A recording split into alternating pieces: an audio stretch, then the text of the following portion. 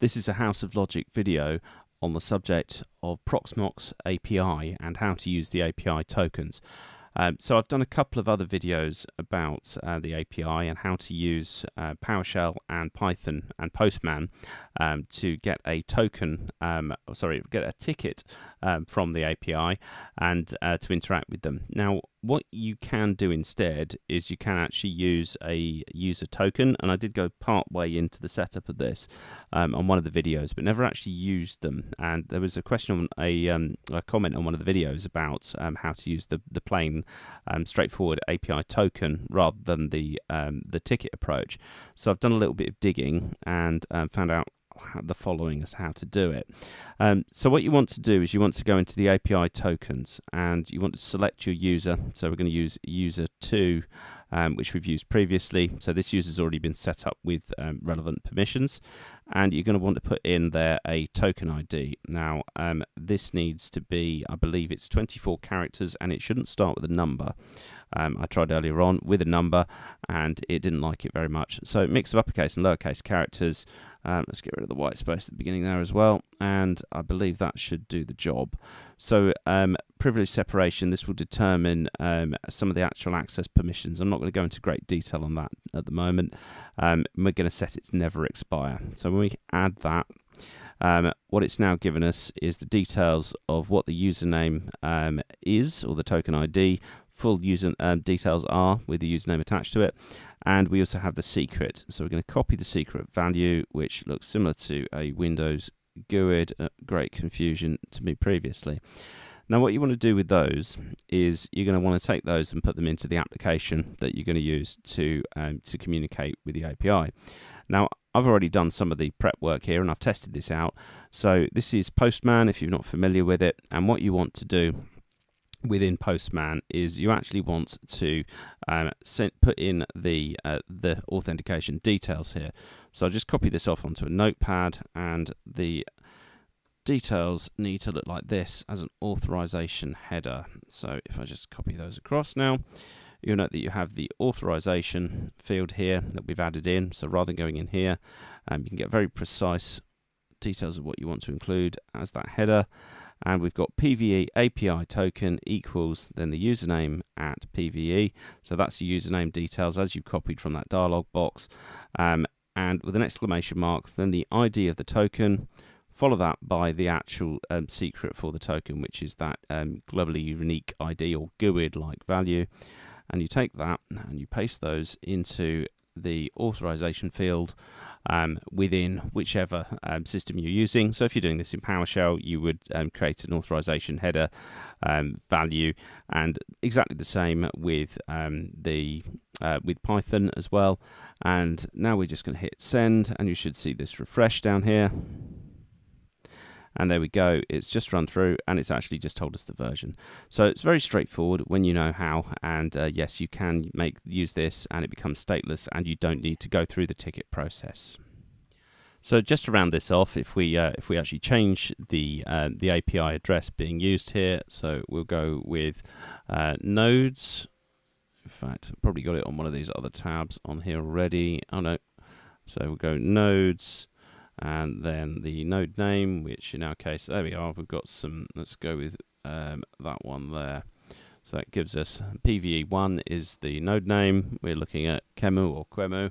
Um, so it's the actual VMID 100, and we're going to get the current status for that. So again, this is with the authorization um, using uh, the token there. And if we hit go, then there we go. So it's, uh, oh, permission check failed. So that's great, actually. So it shows us that we don't have the permission um, to do that, let's go back into there and see what we can do about addressing that. So PVE1 says that the token does not have permission. Um, let's have a look. If we go into uh, users, so that I believe is because we don't have the privilege separation. I'm actually going to turn that off. Let's just try that as if we are going in as a completely main user and we'll try again and let's see if we can do that Aha, we can. Okay, so there's um, there's one of the differences. Um, and in fact, what we would, I believe, do is you actually have to assign a specific permission. So let's have a look. There we are, permissions. So that's showing permissions. So yes, that's actually now got all permissions because let's pick those up up from the user itself. So let's try changing, turning that off. Put privilege separation back on. And if we now go and look at where we set these, which bear with me a moment. So I think let's have a look at that then. So user 2 permissions. Okay, so user 2 has got the direct permissions and the API token has got privilege separation. Is there a way to add it? Not through here.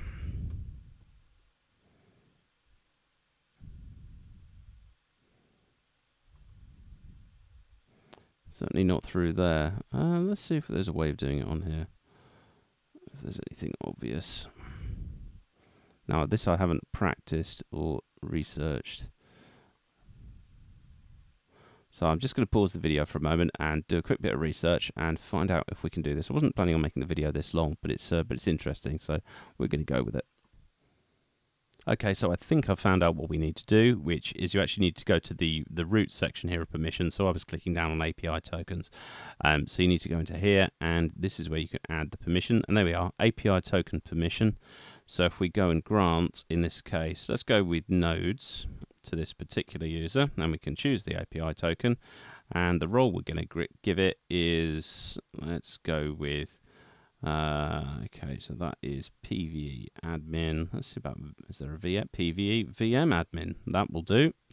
If we go with that. Okay, so we now have an explicit permission for um, user 2.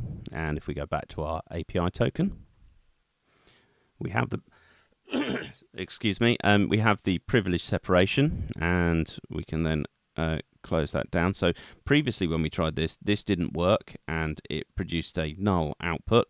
Um, uh, but now, so we've got some output there from when we've turned off privilege separation. But if we now try again, and we go, we have a permission check failure on that specific um, VM. But can we get the node state from PVE? Yes, we can. Okay, so there we go. Um, obviously, it becomes a lot more complicated in terms of what you're trying to set up, and you've got to deal with the uh, the token. It's uh, the token API. Sorry, the API token user effectively, and what um, what that actually has permissions to, separate to your individual user. Um, but nonetheless, it is the way that you can grant um, stateless um, token based access into Proxmox. Um, so there we go. I think we're going to just about leave that one there. You can see the permissions, as I said, is underneath the directly under the permissions, and that's where you assign your token access. Um, so thanks very much for watching, and uh, hope you enjoyed some of the uh, snafus along the way there. If you this video has been of interest to you, please uh, like and subscribe and all that good stuff. Um, otherwise, we will catch you next time. Thanks very much. Bye now.